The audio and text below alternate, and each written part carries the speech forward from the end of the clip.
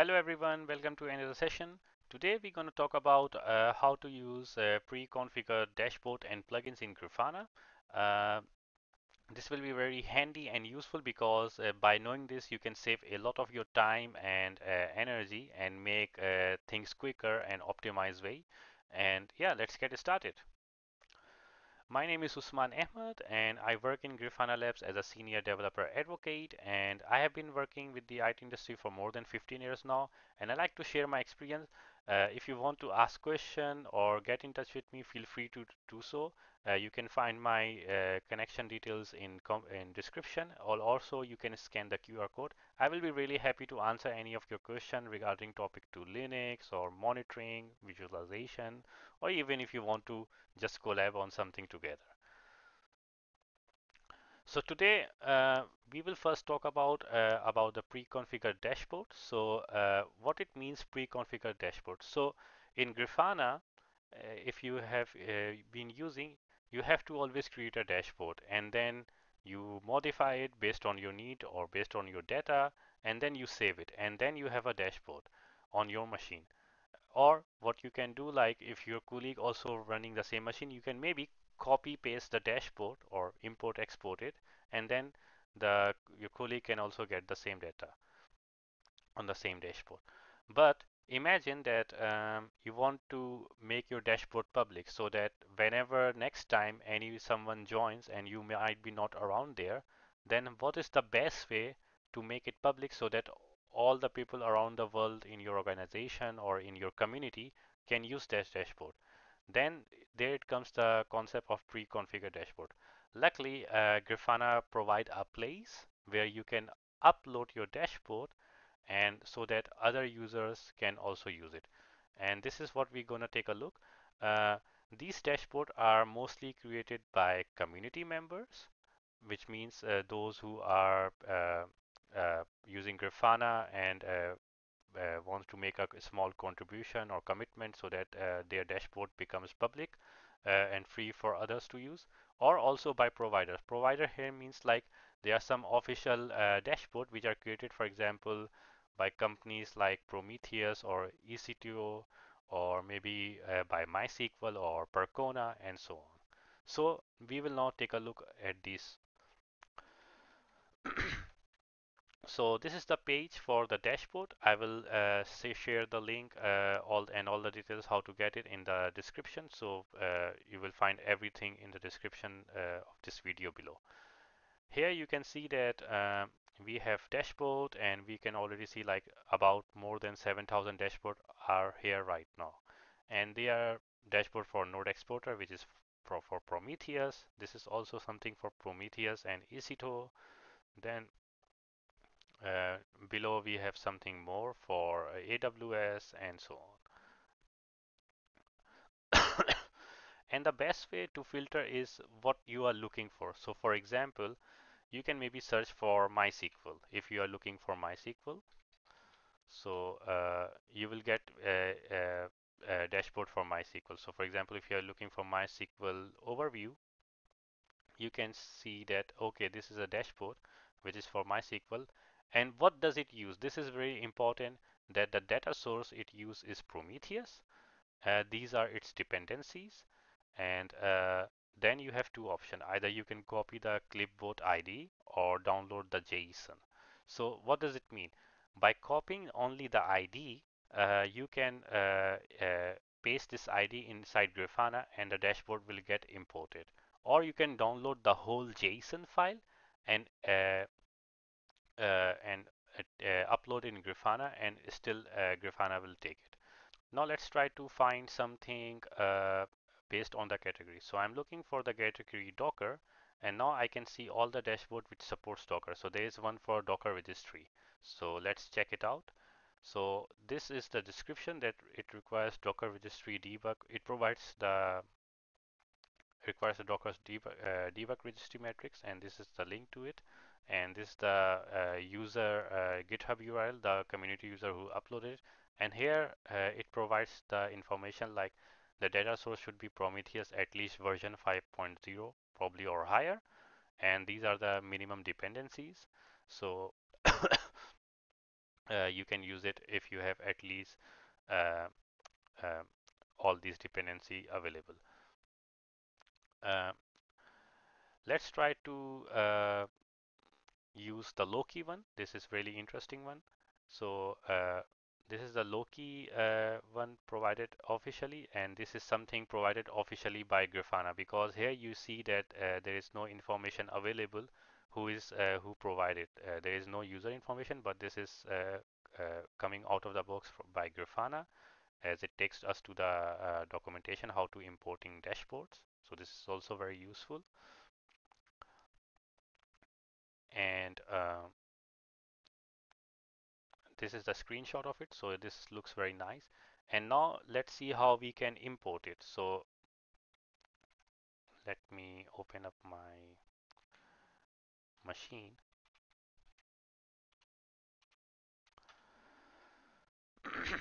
So if I want to import this dashboard although I do not have any Loki uh, uh, services running but still uh, you can uh, uh, import it. So you click on dashboard and you click on new and click on import this button here. And then you have two options either you can upload the whole JSON file here or import via grafana.com this means this is the website uh, grafana.com dashboard where we can uh, copy the clip uh, copy the ID via clipboard and paste it. And this is the ID we got paste if I click load it says exactly same name Loki stack monitoring in the creating in the new uh, in the folder general. Prometheus also no data source found because I as I said that currently I don't have any. And uh, Loki data source is also not, not found but still it shows that this dashboard is portable and can be used if if these two conditions are available and uh, it will still uh, uh, import with some error because the error will come for the data sources which I do not have available but if I click import uh, okay so it does require uh, data sources.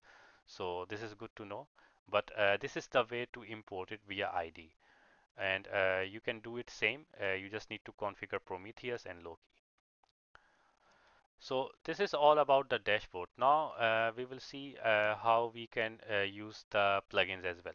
So in Grafana, dashboard is one thing to create and see visual visualization for monitoring and observability, but we also need to use plugins. And uh, this uh, this is very important to understand that uh, plugins comes in three different categories. It could be plugin for an app, it could be plugin for a panel, or it could be a plugin for a data source. And these three uh, uh, options are also wrapped in in the option of av availability. For example, these uh, the plugin could be available for free, which is free to use, or it could be a commercial plugin, which means like uh, you have to buy that commercial product, or it could be enterprise that you you have to use Grafana enterprise version or the paid version to get it. In commercial, you might be running Grafana open source, but uh, but your uh, data source, which you have, for example, a good example will be Oracle. That might be uh, you have purchased uh, for the commercial use because you have paid for the product. So then you have to use that commercial plugin. And now we will take a look how to use it. So this is the page for the Grafana plugins. I will share the links uh, in the description below of this video. And as you can see that we have different types of plugin, data sources, apps, and panels. But these are all still will be called as plugins. And we have then level, all or enterprise. So uh, we have also some community ones. So community created are, are the free plugins. So for example, this Percona one is free it does not cost anything. You can see here that it's community and uh, these are the details. And you can simply see the installation guide, how to install it. Uh, nowadays, uh, you don't need to use any CLI option. It is all available in Grafana. So for example, if I go in here, I cancel this out. Uh, administration, plugins, and if I search for Percona, I have to select the state to all I can see that this uh, plugin is available here. Although it seems a little bit de decrypted on the Percona side because uh, that is this plugin is not maintained by us. So one thing uh, very important to uh, uh, understand here that any uh, plugin which is says it is provided by the community it is not owned by Grafana. So it could happen that the plugin might be a little bit outdated or might be buggy. So to to report this, you have to use the uh, creator's GitHub account. Like you click here, and uh, now we see that this repository has been already archived three years ago. But this is a good example that uh, nobody means like nobody is maintaining this plugin so we can take back and maybe we can use uh, some different plugin so Apache eChart plugin this is very popular very fancy plugin and uh, this is also a community one but uh, if we search this in Grafana so let's go one step back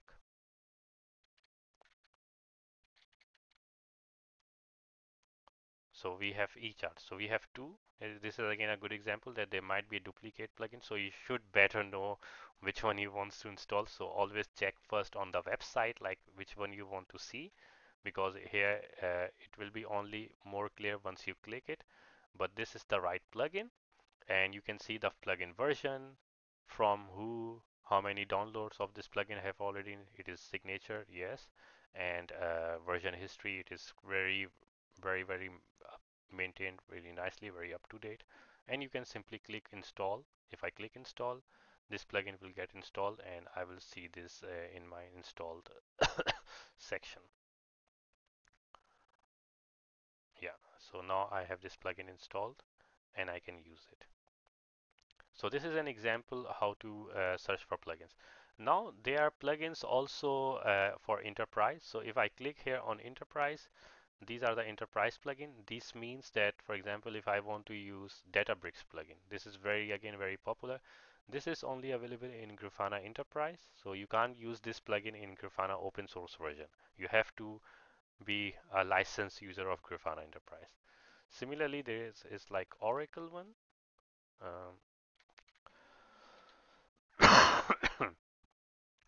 so Oracle databases. Now, uh, not this one.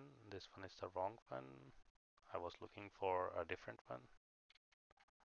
I believe this one. Yeah.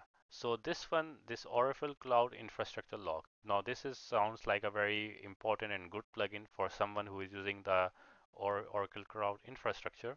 And this is a commercial plugin. This means that to use this plugin, you have to um, uh, purchase the Oracle product, which is a paid, and then uh, probably you might have or might not have to pay for this plugin depends but this plugin can be used uh, on the open source of uh, version of Grafana as well. And here it says like uh, the latest plugin is available on Grafana marketplace and it is compatible with Grafana 10 and so on. So this is all about the plugins. Uh, again what we learned today is that uh, that uh, plugins are available in three areas. So uh, in three uh, or in three categories: apps, panels, and data source. And there could be free, commercial, and enterprise. The one which uh, says uh, um, free, they are free to use. they could be like both core plugin or from the community. Similarly, the commercial one uh, need to be paid and same goes for enterprise. But any plugin uh, which says like it is a community-based plugin, uh, it more it will be definitely free, but it will be not maintained by Grafana. If any plugin, for example, uh, here is an example of a plugin which is created by Grafana. So if I want to see all the plugins which is created by Grafana Labs, so we have all these plugin. And for example, some of these are enabled by default in Grafana, but uh, uh, let's take a more interest in MySQL. Okay, so uh, here, if uh, anything goes wrong, here's a link to the documentation. But if still, if anything goes wrong, what you can do is simply go to the GitHub of Grafana website and create an issue about this plugin that this plugin might be not working with the newest version of MySQL or with the newest version of Grafana or there are some other issues. So uh, we only support, provide support for the official uh, plugin, not for the commercial plugin. For commercial plugin, you have to ask the author of that plugin and then uh, the author can help you that it, if it is a known issue or a new issue and so on. So yeah, I hope that you really enjoyed this video and learn a lot like about some differences. These are the basic but important differences to know like where to find the pre-configured dashboard, what what plugins are, what different kind of plugins, which one are supported by us, which are not, and different flavors of uh, enterprise and commercial. And yeah, thank you very much uh, again, uh, and uh, please ask your questions in the comment section. I will be happy to answer all of it. And if you have any uh, ideas or thoughts what should be in the next video, please also share it with me. I will see you around in the next video. Till then, take care. Goodbye.